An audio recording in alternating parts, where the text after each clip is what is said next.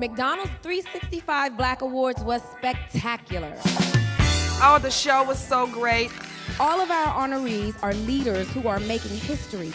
I was really surprised at how many stars were there.